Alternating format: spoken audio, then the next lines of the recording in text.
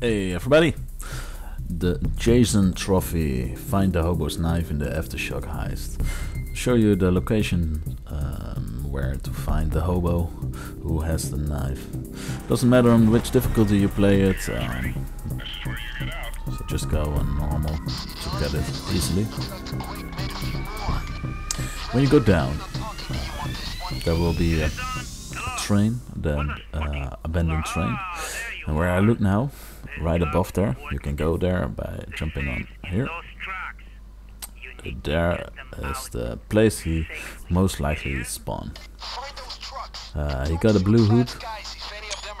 What you have to do is just tie him or shoot him, whatever you want. And then he will drop the knife. If you get it, then you will hear the sound for the trophy. There it is. That's uh, the most common place we, uh, we tend to uh, spawn. There are a few more places like um, here, right here, where I'm pointing now, and underneath the bridge where I'm going now, he also spawns often. Alright, that's it. Hope it was helpful. See you in the next video. Bye bye.